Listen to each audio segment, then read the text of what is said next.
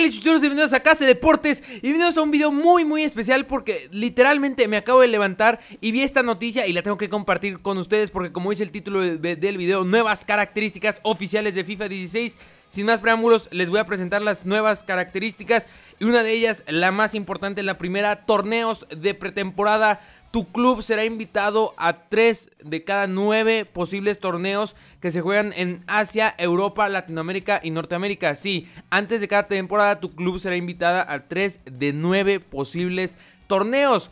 Esto porque hicieron caso a la comunidad, pedíamos que hubiera torneos de pretemporada y han llegado a FIFA 16. Otra de las características más pedidas y que estará en FIFA 16, entrenamiento de jugadores. Y esto es muy, muy bueno. El objetivo de, este, de esta característica es permitir el crecimiento mayor de los jugadores de las fuerzas básicas y crear más valor para el club. Les voy a dejar el link a toda la noticia en la descripción. En verdad yo estoy muy contento con muchas de ellas. Al final ya daré un poco más mi opinión. Historia de la temporada. Aquí tengo que leer porque no lo he entendido muy bien. Dice, te sumergirá completamente en la historia de la temporada de tu club. Nuestros comentaristas Mario Kempes y Fernando Palomo comentarán la situación, las situaciones claves, incluyendo los desempeños del equipo, jugadores más notables, los debuts de grandes jugadores o los rumores de transferencias. Los gráficos y otros comentarios en el juego también recogerán estadísticas del equipo interesantes sobre el juego con amplias referencias de la situación o del equipo de la competencia. Lo que no entiendo muy bien es qué tan frecuente será, porque sabemos que después de dos, tres temporadas, eh, pues el juego es cuando se empieza a hacer un modo carrera un poco más repetitivo. Y aquí supongo que van a estar hablando de si Danny Ings, por ejemplo, lleva 30 goles en la temporada. Yo creo que van a hablar que seguramente va a anotar. Pero eso, según yo, ya estaba este año.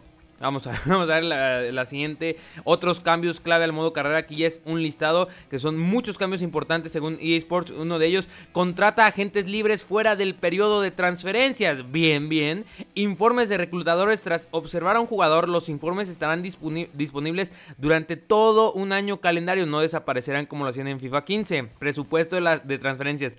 Los presupuestos de transferencias ahora se ajustan con mayor realismo al club que usas en el modo carrera. Además, un porcentaje porcentaje del presupuesto restante de la temporada anterior se trasladará a la siguiente. Este porcentaje variará según donde finalice el club en relación de los objetivos de la temporada. Bien, realismo. Préstamos, ojo aquí, los préstamos a corto plazo han aumentado de 3 a 6 meses y ahora una opción de solicitar préstamos a 2 años. Ese de 3 a 6 meses me da mucha risa, de verdad, porque se supone que más o menos eso ya debería ser en el FIFA 15, pero olvidemos eso. Cambios en amistosos. Podrás realizar un número de cambios ilimitado entre los partidos amistosos. Esto parece increíble que no estuviera, ¿no? Transferencias más realistas, también atentos con esto. Durante el periodo de transferencias hemos ajustado el número de movimientos destacados de grandes jugadores para reflejar mejor el número de cambios que típicamente ocurren en el mundo real. Valores de transferencias de jugadores mejorados. Hemos trabajado en los valores de los jugadores para reflejar mejor el mercado de transferencias real y mucho más. Así termina el artículo. Así que en los comentarios me pueden decir qué opinan. ¿Creen que se quedaron cortos? cortos? ¿Creen que esto lo pudieron haber hecho en un DLC y no sacar? Bueno, y además de las otras características que se presentaron en FIFA Ultimate Team, el juego con las selecciones femeninas. Mmm ¿Creen que pudo haber sido un, DLC? ¿Creen que está bien que saquen un juego año con año, te lo vendan como nuevo y solo traen unas mejoras? ¿Creen que deberá suceder esto? ¿O creen que con cambios como estos, donde escucharon a la comunidad y lo hacen mención en el artículo, escucharon a la comunidad del hashtag Change Career Mode? Esos fuimos nosotros, todos los que comentamos, ahí estamos.